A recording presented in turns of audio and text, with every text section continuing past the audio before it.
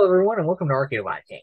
This is the fourth video in my series about the earliest large-scale conflicts between Native Americans and European colonists and colonial powers in North America, and the sixth video in my series about early colonial debacles that disprove the myth of inherent European moral and technological superiority.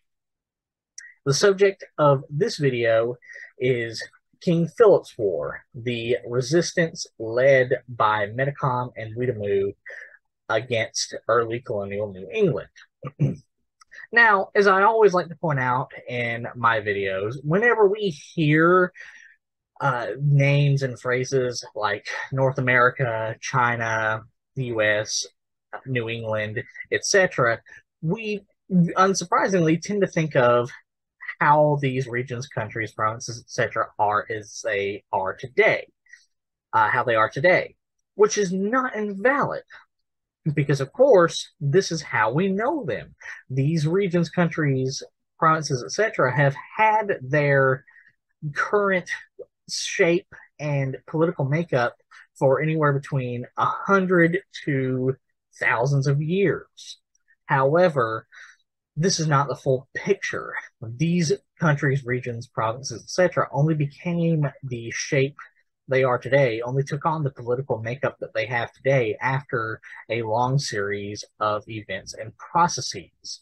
So, in order to better understand how these regions, countries, and provinces became as they are today, we need to go back a little bit in time to get a look at the bigger picture. Which brings us to the first section of this video, the Native American tribes in New England and New England itself before European colonization. So, before and during the early years of European colonization, New England and the northeastern woodlands was home to a large number of very diverse Native American political entities and nations with these nations generally being be, uh, being built around uh, confederacies or leagues, i.e., a lot of um, smaller nations that work together to make a larger nation.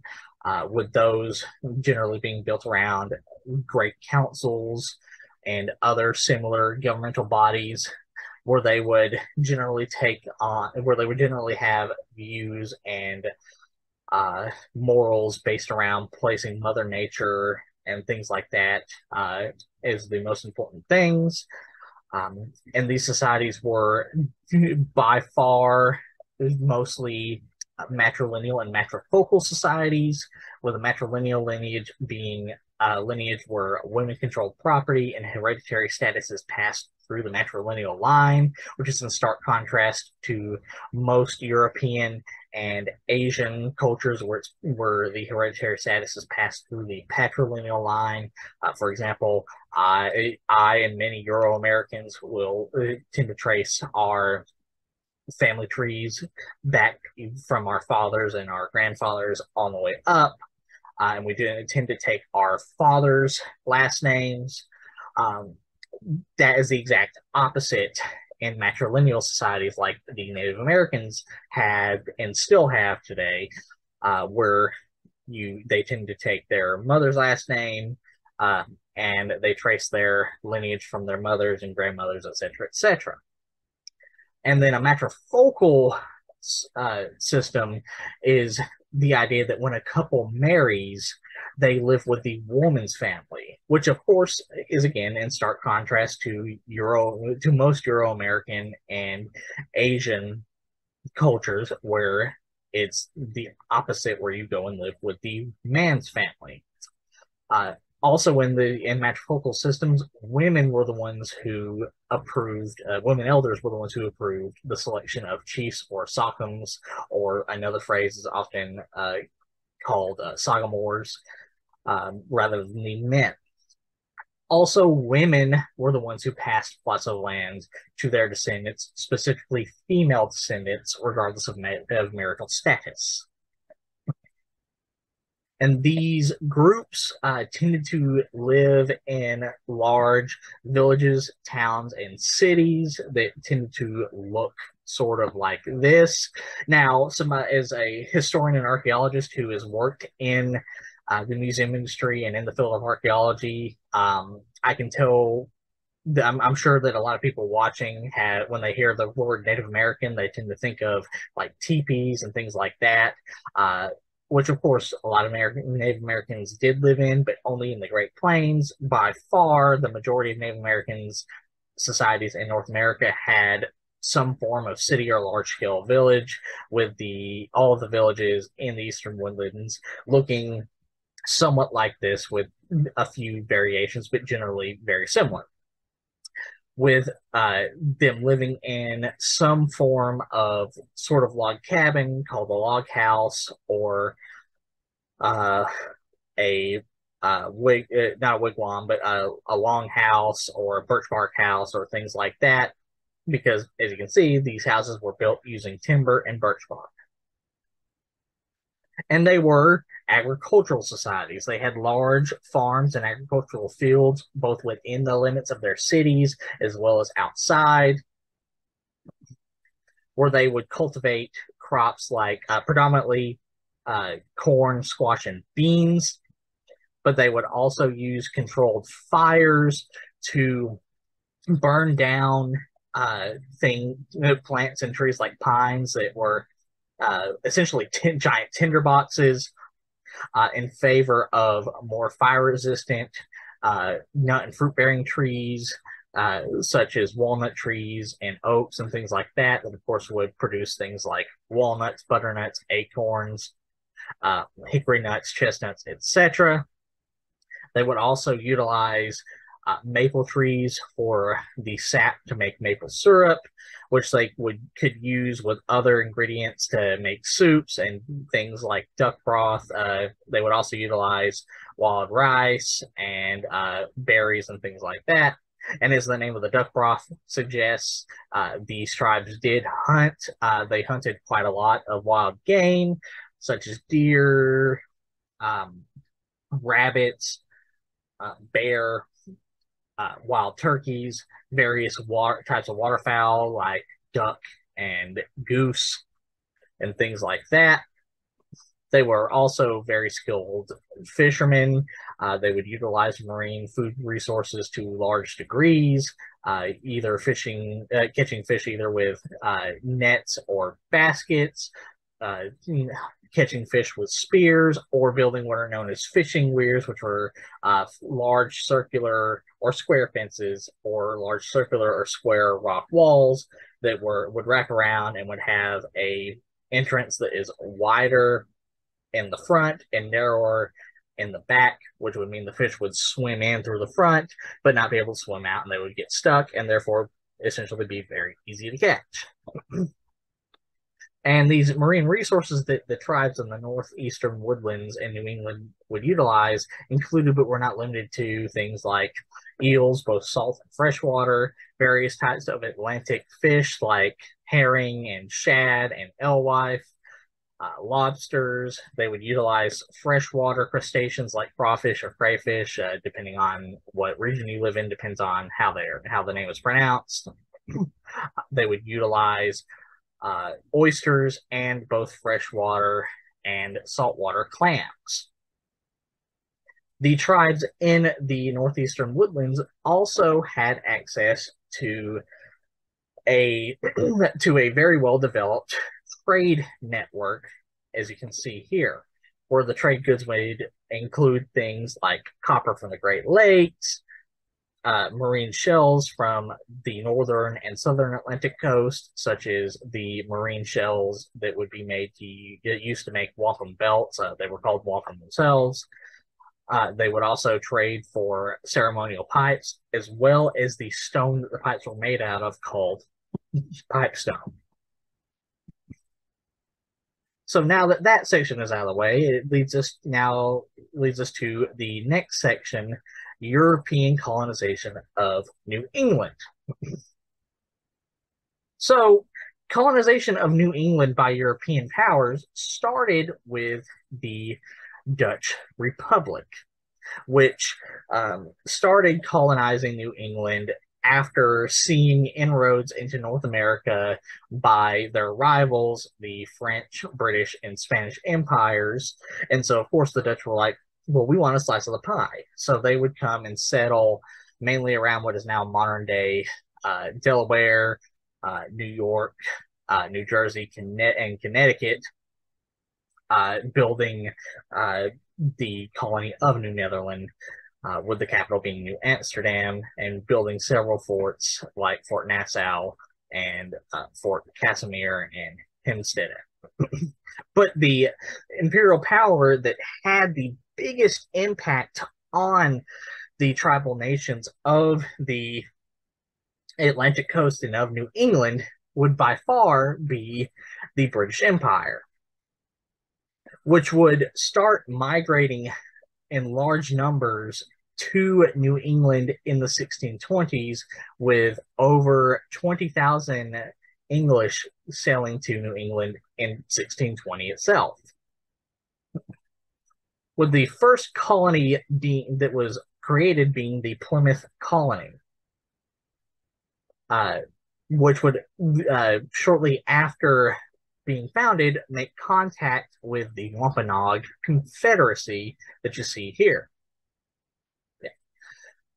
Uh, and this uh, this contact was done with the help of native translators such as the very famous Squanto, but actually uh, the individual who had the most hand in helping the colonists uh, contact the Wampanoag would be it was an individual by the name of Samoset, uh, and with the help of Samoset and Squanto, the colonists would be able to form an uneasy alliance with the Wampanoag Sachem or Sachem, I've heard it pronounced both ways, Massasoit on uh, March 22nd of 1621 CE, with eventually their uh, treaty being solidified and what most people would know as the first Thanksgiving, though, uh, as I mentioned in my video on the first Thanksgiving, which I will link in the iCard, um, the actual event was far from what people think it actually was.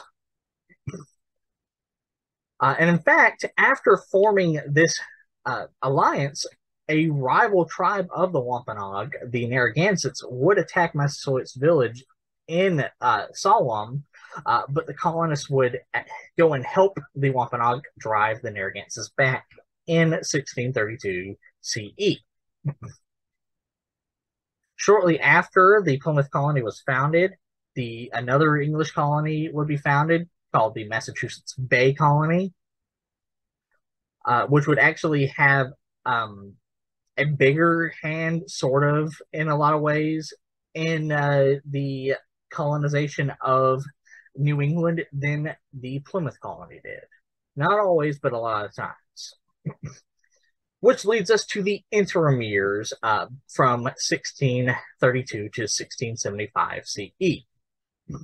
So, with the establishment of the Dutch colonies, but also the uh, Plymouth and Massachusetts Bay colonies, uh, the North American fur trade would be established, which was mainly controlled by Native American confederacies and nations such as the Wampanoag and the Narragansett and Pequot and such, where the the Native Americans, the Wampanoag, Narragansett, Pequot, etc., would go out and hunt uh, animals such as beaver and deer, um, raccoon, etc., for their furs, where they would then take and trade with the English in return for items like gunpowder weapons like flintlocks and matchlock muskets, as well as stone implements, whether they be cooking implements or utilitarian implements uh, like hooks for hanging things.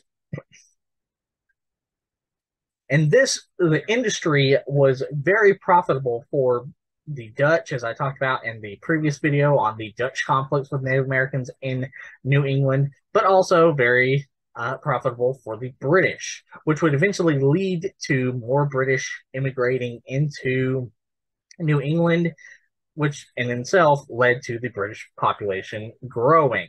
Uh, and the British population would steadily grow uh, from 1620 um, well into the 1750s. Um, and specifically for this video, steadily grow from 1620 into the 1670s. Meanwhile, the Native American population would slowly start to decline, especially in between the 1640s, uh, as yeah, yeah mid 1630s and the 1670s. The largest population growths by far for the British would be in colonies uh, such as New York, Philadelphia, and Boston, as you can see here. And with this growth in uh, colonial power uh, and decline and uh, growth in colonial population and decline in Native American population, so too came war. In fact, one of the biggest reasons for said decline in the Native American population was an event known as the Pequot War, which led to the dissolution of the Pequot Confederacy as a political entity. Now, the Pequot did not go extinct, as I mentioned in the Pequot War video, which I will also link in the iCard, but it did, but it did lead in a massive decline in the Native American population overall. Uh, and it would also uh, lead to a massive shift in um, the sociopolitical uh, makeup of the region. With the main massacre in this war happening uh, at what is known as the Fort Mystic Massacre, which horrified the Native Americans because several Native American war bands had actually allied with the Connecticut and Massachusetts Bay colonies and fighting the Pequot. Um, and they would be horrified when they saw the tactics that the colonists used. In fact, one of the captains responsible for the Mystic uh, Fort Massacre, John Underhill, would admit so himself, where he can see, as you can see here, mentioned how the Indians, how the Native Americans uh, talked about how uh, essentially their fighting was too furious and slew too many, um, which did not, uh, which their criticisms did not please the British. Again, I mentioned that in greater detail in the Pequot War video that I will include in the iCard. And as a result of this war, uh, of course, many of the Pequot had been massacred, but those who hadn't been massacred or who hadn't been taken in by other tribal entities like the Narragansetts and Mohegans um, and uh, Susquehannock and other tribes uh, would then be enslaved and shipped off to Bermuda or the West Indies, or they would be forced to become slaves and servants in English households in colonies like Connecticut and the Massachusetts Bay Colony. And with the defeat of the Pequots and seeing the, uh, the being alarmed by the brutality um, and the lack of mercy shown by the British colonists in the Fort Mystic or the Mystic Fort Massacre, the Narragansett, one of the Indian allies present there, uh, the Narragansett leader specifically, uh, uh, Mian uh, Tanamo, would actually gather uh, several uh, Algonquin speaking tribal nations and confederacies together with the hope that they could face the colonists together much better than the Pequot had alone.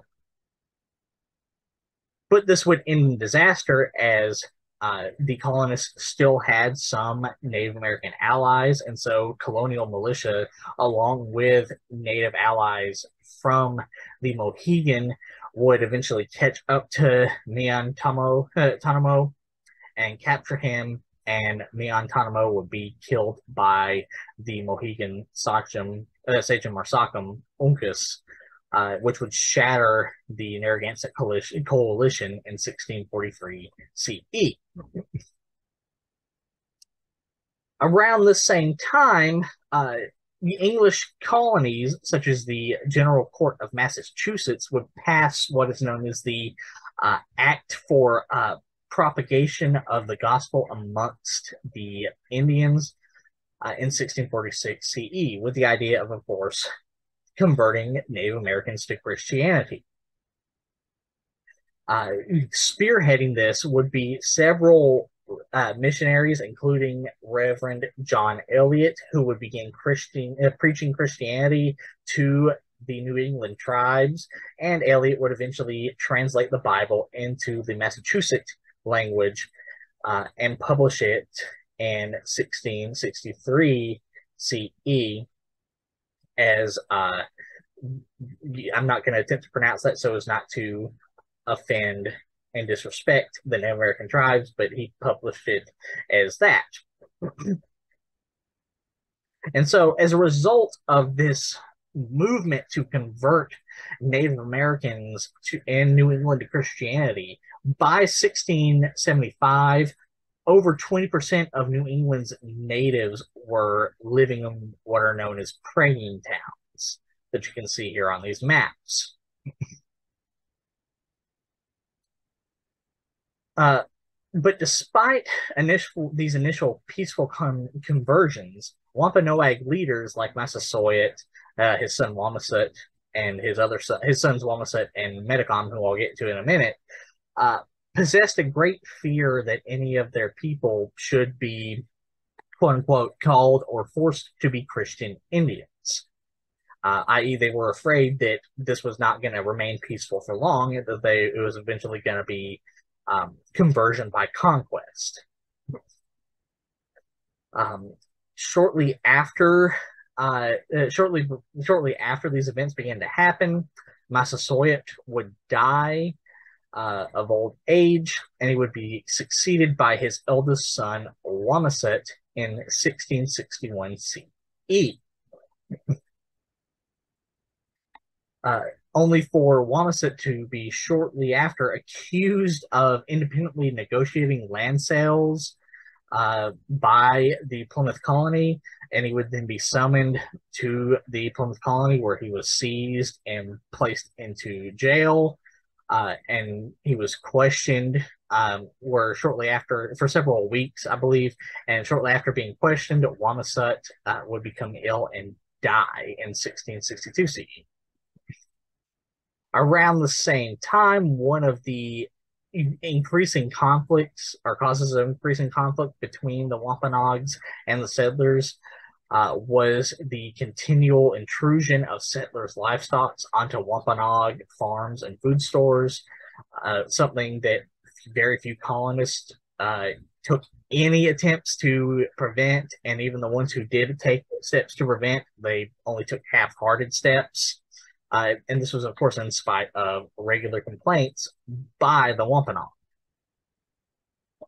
Tensions would then further rise as colonists would uh, periodically come and either try or succeed in confiscating Native American rifles. Now, of course, they didn't confiscate them all, but they would periodically come and take some, you, and then come back and take more, and you can sort of get the pattern. Therefore, leaving the Wampanoag and other New England Native American tribes with less and less of an ability to defend themselves or to hunt for furs. Now, uh, now that we've got that out of the way, uh, one of the one we we need to move on to two of the the two major figures of the uh, who rose during this intermediate this interim intermediate period. The first being Weetamoo. So Weetamoo was a woman who was born to the uh, tribe of the Wampanoag Confederacy in 1635 CE. And here are, is their um, homeland here. And throughout her life, she would have five husbands, including Wamasut, uh, the eldest son of Massasoit. And after Wamasut's death, she would remarry to several other individuals finally who all would die in quick succession uh, or divorce they would divorce in quick succession as well finally ending in the her final marriage with Quinnapin of the Narragansett, which would actually be a political marriage that would greatly strengthen the relationship between the uh, Narragansett and the Wampanoag. and because her father had no sons, uh, to inherit his title, uh, became what is known as a Songsquaw or a female Sockham or slash Sachem, uh, making her an incredibly influential and powerful figure in the region, commanding an army of more than 300 warriors uh, to help fight in any conflict that she and her allies need them for. and one of her closest allies would become an individual by the name of Metacom, who would rise to power in between 1662 and 1665 CE. So Metacom was the youngest son of Massasoit, uh, and he would succeed his brother Wamasuta as Grand Sachem or Sachem of the Wampanoag after Wamasuta died in captivity at the hands of the Plymouth of the at the hands of the Plymouth colonists.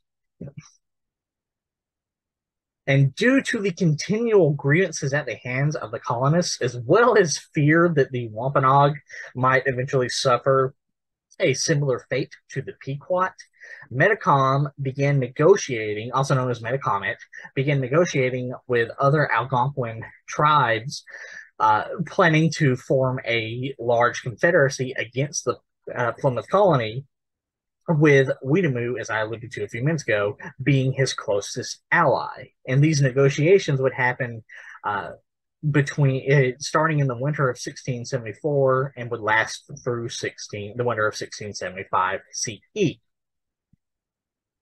Uh, but of course, these efforts would not go unnoticed, and eventually, a Christian convert, an, a, a Native American Christian convert by the name of John Sassamon, would hear about these plans uh, and would report Metacom to the uh, Plymouth officials, where uh, Metacom would then be brought to trial, where the court officials actually admitted that they had no proof uh, of these claims that John Sassamon had brought to them, but warned that they would continue to confiscate uh, to confiscate uh, Wampanoag landing guns if they had any further reports that he was conspiring to start a war. And shortly after uh, the uh, Sassamon's uh, reporting of uh, Metacom's efforts, uh, John Sassamon would be found murdered in an icy pond, with witnesses testifying that they had seen three of Metacom or Metacomet's men kill Sassamon and put him in the icy pond. Um, and despite Metacom's request to try the accused Wampanoag himself, the Massachusetts General Court charged and tried uh, the three Wampanoags for the murder of Sassamon. These individuals being uh, Tobias, uh, Wampaquin, oh, uh, and Mata Shunamo. Uh, yeah, Shunamo. Apologies for possibly butchering those names uh, with the jury finding them guilty and executing them. And here you see here is an excerpt of the sort of court summons that called the, these three individuals to the Massachusetts court. Which leads us to King Philip's War. So, in response to the execution, as well as the aforementioned continued grievances that were already causing tensions between the uh, New England Native Americans and the New England English colonists, Metacom and Weetamoo would declare war on the English colonists by launching an attack on the town of Swansea in June 20th of 1675 CE. Uh, which now leads us to, uh, before we go through look and look at the course of the war, we now need to take a look at the general makeup uh, of the uh, of the military forces of both sides and their weapons. So here on the screen, you see generally what Native American warriors would have looked like on the eve of the so-called King Philip's War, with most warriors amongst the New England Native Americans generally looking uh, some variation of like this, uh, whereas the higher-ranking warriors um, would look more like this individual. Uh, this is actually Metacom himself, uh, or this individual who is a uh, Mohegan chief.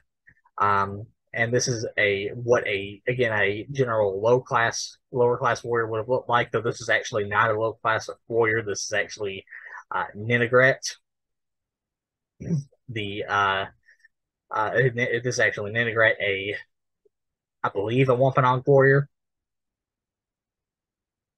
and the weapons that the Wampanoag and other tribes of the Eastern Woodlands would have generally used would have been a variety of different types of war clubs and tomahawks, which by now had pro- were predominantly made out of steel, like you see here.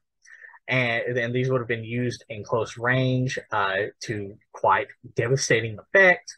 And then in terms of long range weapons, they had by now completely moved on to rifles utilizing heavily the Dutch trade guns uh, that were the Dutch flintlock trade guns. And in fact, early on in the war, for the year, the first year or so of the war, the Confederacy, the Native American warriors under uh, Metacom and Weetamoo's uh, command, actually had were actually more advanced than the British colonists. They actually had better weapons, and that's because British colonists were not uh, while the colonial elite were profiting off of the fur industry, the colonists themselves were not always profiting off of it, and guns were expensive. Meanwhile, the Native Americans, like the Wampanoag and the Narragansett and the Mohegan and such, would oftentimes use furs to go to other European powers, such as the Dutch and the French, uh, etc., to trade for the very valuable and very it, it, technologically advanced for the time Dutch trade guns, like you see here, which were incredibly accurate uh, and uh, had a very long shooting range and were, of course, very powerful. In contrast, this is what the British soldiers would have looked like on the eve of King Philip's War. Uh, this would have been what sort of a musketeer would have typically looked like in the British colonies. Uh, this would have been a uh, British colonial cavalryman. Uh, and this is what the officers would have looked like. And here again is what the cavalry would have looked like. And at their disposal, the British had used the same typical muskets if they could afford it uh, that the uh, Native Americans under Metacom and Weetamoo used, though oftentimes they still used matchlock, uh, less advanced matchlock weapons because, again, many of the colonists were not able to afford the new, more advanced weapons. And they, for sidearms, they used uh, matchlock or flintlock pistols. And up close, they used things like this typical saber of the saber of the time period that you see here. All right, so with that, now let us move on to the course of the war itself. And the first, and leads us to the next section, the Southern Theater. So, in response to Weetamoo and Metacom's attack on Swansea, the colonists would uh, launch a punitive military expedition to destroy that destroyed the Wampanoag town at Mount Hope in Bristol, Rhode Island, uh, on June 28th of 1675 CE. Uh, and eventually, the war would uh, very quickly spread throughout southern New England with Weetamoo and Metacom's forces being able to successfully perform an ambush known as Wheeler's Surprise, but fail, uh, but failing to take Brookfield in a siege, uh, which eventually led to both forces fighting to a draw between August 2nd and August 4th of 1675 CE.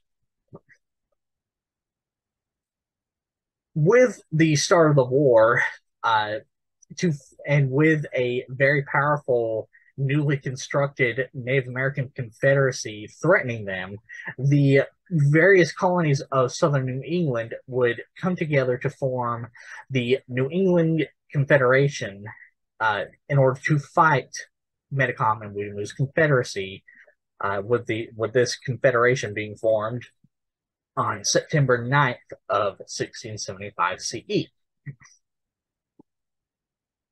uh, only for Metacom and Weetamoo's forces to win yet another battle at uh, known as the Battle of Bloody Brook on September 28 of 1675 CE.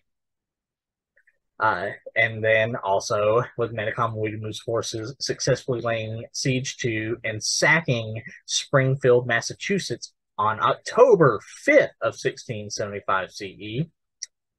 Uh, though the New England militia was able to gain some degree of victory after they attacked the still, at this point in time, still neutral uh, Narragansett, who had not participated in the war, uh, at what is known as the Great Swamp Massacre on December 19th of 1675 CE. And this was a, a joint New England and Allied Mohegan Pequot effort. Because remember, the Pequot, while they were dissolved as a political entity, were not extinct. Uh, Metacom, uh, during this time, in conjunction with the Narragansett being attacked, who were neutral again, being attacked by New England, and actually at this point joining Metacom's war effort in response to the Great Swamp Fight. Uh, in conjunction with this, Metacom would attempt to gain the aid of the of the powerful Mohawk and Haudenosaunee Confederacy, more commonly known as the Iroquois Confederacy. uh, but the Mohawk, uh, who were profiting far more off of the colonists than they were off of the Wampanoag, uh, would intervene actually on behalf of the colonists, launching a surprise assault against uh, a, a 500 warrior band that Metacom had brought with him, resulting in the death of somewhere between 70 to 460 of the warriors that that Metacom had with him, forcing Metacom and his surviving warriors to withdraw back into New England, being pursued by Mohawk forces, who would then proceed to attack Algonquin settlements and ambush their supply parties for several weeks throughout February of 1676 CE. However, despite this setback, uh, Metacom and forces would successfully into and uh, would successfully attack and destroy many more settlements, uh, New England settlements, throughout the winter of 1675 to 1676 CE. and here is uh, a map of the Mohawk intervention again, uh, as well as Weetamoo and Metacom's uh, continued campaigns and destruction of New England settlements. Metacom and Weetamoo's forces, these, these campaigns would include uh, a point when Metacom and Weetamoo's forces successfully raided Lancaster, uh, resulting in the death of several colonists, as well as the capture of an of a woman by the name of Mary Rowlandson, who we will talk about again a little bit later in the video on February 10th of 1676 CE. And then uh, at, shortly after that, Metacom and Weetamoo's forces would launch the what is known as the Plymouth Plantation Campaign, where they would successfully burn down many more settlements, uh, as well as would eventually catch up to and capture uh, and torture to death Captain Pierce and his troops on March 26th of 1676 CE. Uh, with Captain Pierce and his troops eventually being laid to rest at an area known as Nine Men's Misery. And here's a plaque commemorating that that you can see here. Other settlements in Rhode Island and Connecticut, Connecticut, however, were able to hold off attacks, but they became still became largely cut off from the mainland. Meanwhile, smaller towns such as Northfield and Deerfield would become abandoned uh, as surviving settlers would begin to retreat to aforementioned larger towns uh, that were able to hold off to some degree the uh, attacks by Metacom and Weetamoo's forces. Uh, and then shortly after that, Metacom Weetamoo's forces would continue win more battles, such as uh, when they won the battle known as the Sudbury Fight on April 21st of 1676 CE. Uh, but shortly after that, uh, Massachusetts Captain uh, William Turner uh, would uh, lead a campaign uh, consist lead a military campaign consisting of 150 militia volunteers, uh, as well as Mohegan allies, and would score several victories against Metacom and Weetamoo's forces throughout the summer of May through June 1676, 1676 CE. Uh, and eventually, uh, English colonists would uh, defeat um, Metacom and Weetamoo's forces at the Second Battle of Nips uh, of Nips such uh, of yeah Nipsachunk uh, in summer of 1676 CE. Sorry if, for possibly butchering that. Shortly after these victories, uh, Metacom would be uh, killed while he was um, going on a mission to gather more allies and uh, initiates to his confederacy. Uh, and then Weetamoo would uh, be drowned, it would drown in Taunton River, attempting to escape English militia forces. After Metacom's death, uh, John Winslow would declare a Thanksgiving to celebrate the death of Metacom. Now, you'll note that Weetamoo is not mentioned, and that's because while women were important and are still very important to Native American culture, um, they are were obviously not important to English culture, so therefore she was not mentioned. and here, and this this declaring of Thanksgiving in honor of Metacom's death is mentioned specifically in this source here, titled "A Brief History of the War with the Indians in New England." Uh, where you can see right here uh, it says that on August 12th, uh, in response to uh, when Philip was thus slain, um, with five of his men killed with him, uh, the colony appointed the 7th of this instant to be observed as a day of public thanksgiving through jurisdiction. Apologies, I said August 12th, it was actually August 7th. and that concluded the war in the Southern Theater. However, the war would continue for two more years in the Northern Theater, specifically Maine and Acadia. So, upon hearing news of the Wampanoag attack on Swansea, uh, colonists in York marched up the Kennebec River and demanded that the Wabanakis turn over their gun and guns and ammunition as a sign of goodwill. In response, the Wabanakis began raiding trading posts and attacking settlers also in June of 1675 CE.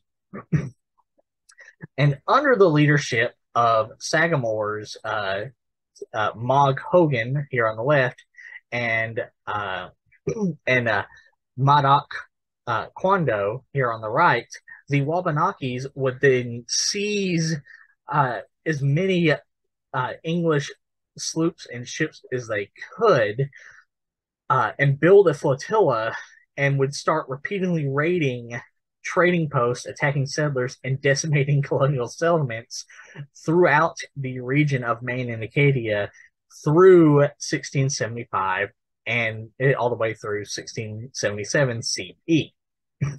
with the with the war only ending when the Wabanakis sued for peace themselves uh, themselves because, of course, they won. Uh, the treaty specifically be, uh, being the Treaty of Casco, officially ending the fighting in 1678 CE. However, the damage had already been done. By the end of the war, uh, approximately 400 settlers had died. Maine's fishing economy was devastated. It would not be repaired and recover for decades to come. And the Wabanaki maintained their power and influence in eastern and northern Maine. Which leads us to the next section of the video, the aftermath of King Philip's War. So, of course, the first thing we're going to look at when examining the aftermath of King Philip's War is the casualties of King Philip's War. Now, obviously, the uh, group that was most affected by the ending of the events of and the ending of King Philip's War were the Native Americans. But uh, first, we're going to look at the English because they were the ones who began to suffer first at the beginning.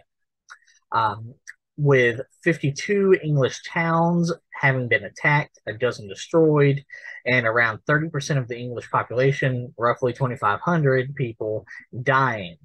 Uh, the English population of New England dying. with Plymouth Colony alone losing around 8% of its male population and a smaller percent of its uh, woman and child population.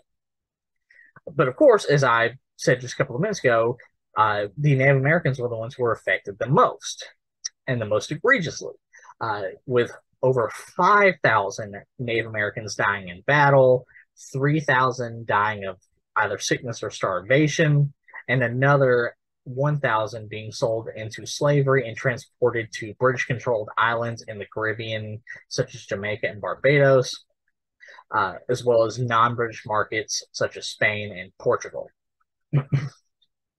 and the consequences of this conflict were uh, the New England natives were decimated, with many fleeing north to seek refuge with the Wabanaki and other tribes, which of course would lead to future Native American attacks on New England being from the north. Uh, conflict would continue for decades in Maine, New Hampshire, and northern Massachusetts, with six wars being started over the next 74 years between France and New England, as well as the respective native allies, with uh, one of the largest and longest lasting being King William's War, uh, which started in 1689 CE. and the defeat of native forces in the South would eventually lead to the expansion of colonial settlements, though immediately after the war, the English only controlled a thin strip of land near the Atlantic coast. uh, by far the longest lasting consequence of this conflict would be the idea, uh, the ever growing idea of Native Americans as a dangerous specter. Um, which was only made worse by uh, things called captivity narratives that were written by English, taken as captive by as captives by natives. Uh, uh, and this contributed, of course, as I said, to increasingly developing views by New Englanders that natives needed to be exterminated. Uh, which, in consequence of that, colonial towns would begin to develop develop personal militias to protect themselves. Uh, there had been colonial militias, but these had been rather for like militias developed by the by various colonial confederations, like the New England Confederation, uh, and uh, also uh, having received no help from New England, New Englanders decided that they were on their own. Little to no help from New Eng- from England. New England just decided that they were on their own and started to feel that they have their own identity and started wanting to separate from the English. Now, you might be asking, well, Dane, why isn't that the longest lasting consequence of King Philip's War? It's like, well, it only lasted up until the you know the end of the American Revolution. This right here, the idea that Native Americans were dangerous and needed to be exterminated, lasted up to, through, and then well after the uh, end of King Philip's War. and here is a picture of the various Native Americans being shipped to slavery. And here's a picture of the most famous captive narrative uh, that was published after King Philip's War, that being the uh, uh, biography or captive narrative of Mary Rowlandson which of course she omitted a lot of things uh, due to not wanting to be seen as a traitor to Christianity. now, this leads us to our last section. Where are the Native Americans who participated in this war today? Well, despite uh, you know, despite attempts by colonists uh, to wipe out, uh, wipe them out as well as continued attempts by to this day by the U.S. to eliminate uh, Native American culture and wipe it out. Uh, the various Native American tribes still uh, persist to this day. For example, here are the Wampanoag, who still reside in New England uh, and have kept their culture strong despite, again, continued to this day attempts by the U.S. government to erase their culture. The same goes for the Narragansett, who also continue to hold on to their culture uh, to this day in New England.